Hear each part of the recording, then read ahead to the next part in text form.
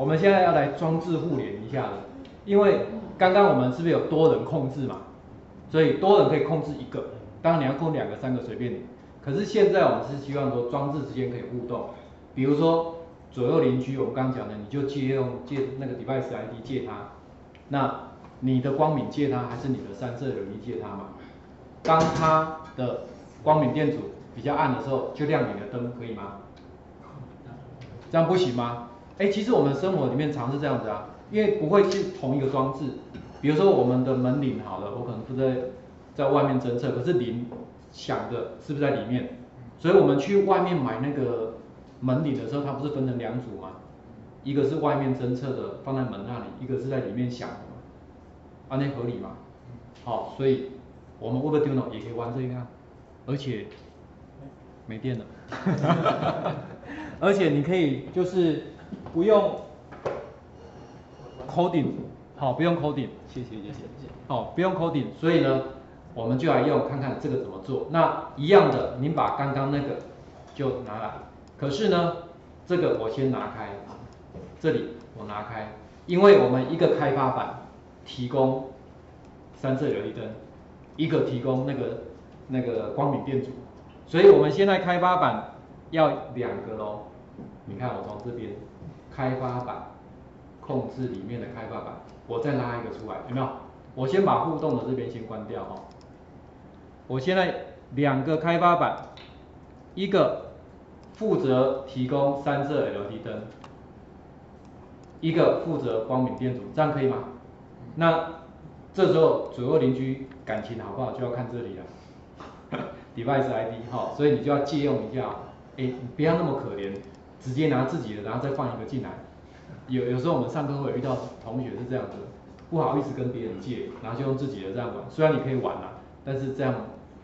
比较没有意思，但是重点在这里，串联，这个，这才是重点。我们刚刚协同控制是勾后面这个，多人控制一个嘛。但是我现在不是要协同控制，我是要让它串联起来。也就是说，各位我们都知道电池可以串联跟并联嘛。串联的意思代表什么？中间有一个断的，后面会不会？后面可不可以作用？不行哦，所以表示如果把串联勾起来，这两个装置只要有一个不在线上，程式不会执行，这样合理吧？对不对？好，因为有一个断掉了嘛，表示没有串联成功啊，那我写程式也没有用啊。好，所以现在呢这样子，你先把原本的程式先拉开没关系哦，哈，就放出来哈。那这样子的话呢，我把它串联起来了，等一下。我这边还有另外一颗，我再用，我比较可怜嘛，哦，我就自己跟自己玩。好，那串联好之后要做什么事情？是不是要做我们刚刚那个件事情？所以你看我们开发板控制里面的开发板，有没有发现，当开发板串联完成才执行，对不对？也就是说它两个装置都有在线上了，也都 OK 了，我就做我该做的事情。所以我们原本是在一个开发里面做的积木，我们就把它拿到这边来，好，就把它拿到这边来，好，所以我现在把它拉出来，这样有没有 OK？可以吗？可以，对不对？那一样的，因为我需要看到那个数值嘛，好，有没有人要借我你的？好好好，对，所以。哎，我看一下，对我就借用你的光敏电阻喽，哈，所以我在这边打入它的十，哎，你的这个 X 不知道大写还是小写，这样你就知道哈，有的真的有些字比较容易混淆哈。那我先跟各位解释一下，我们在右上角这里不是也有这个吗？对不对？因为这个一般我们只会用到一个啦，所以它只有一个让你去输入，你就不能一次输入两个。好，那所以但是那个不影响我们写程式，它只是做 debug 用的。好，那我现在的这样 OK 了，我就执行看看喽。我们执行看看，看有没有侦测到它的。哎，等一下，我有一个弄错了，你知道在哪里错了吗？你看我丢出来，这里有没有改？没有改，对不对？所以就侦测不到，这样有了解吧？所以，反正写程式只有两种结果嘛，一个是零分，一个是一百分，没有那个九十九点九九的纯金的不好，好，就是一定要完全正确哈，所以我按执行，看看有没有，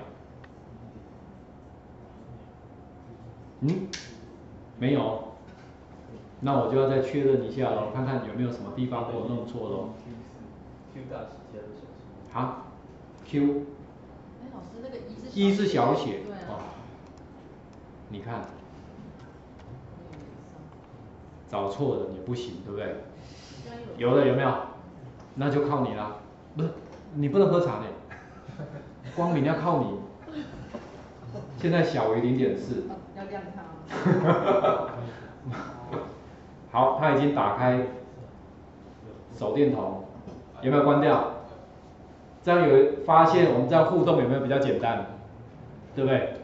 有没有让你写到程式？没有，只有叫人要叫对。好，那就让左右邻居玩一下喽。OK。如果两个人写两用两笔外写两码不一样怎么办？啊，两个哦，因为这样是同时执行嘛，所以就看谁谁不是谁最后控制的。最后发出指令的人是最后到嘛，所以就是由那个人控制。不过原则上说真的，因为还是要避免这种情形啊，好避免这种情形，毕竟多个人控制，除非你有勾那个协同控制嘛，这样才可以。只是一下我要控制它，又一一下另外一个程式要控制它，它就。因为我意思说，刚刚我们我们两个人写，可能会两个码写的不一样。对啊对啊。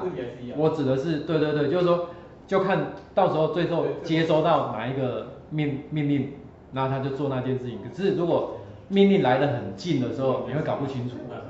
哎哎，对对对。所以各位透过这个方式，应该就可以比较明显感受到 Webduino 它好好用是在哪个地方，因为它就是透过物联，我们所谓的物联网。所以只要你的网络有通有顺畅，就你要完成这些动作就相对容易。当然它的缺点也在这里，你今天网络不顺或网络不通，很抱歉。这一切就都没有，好，所以有它优点也有缺点，那就看就是我们怎么去选择这样子。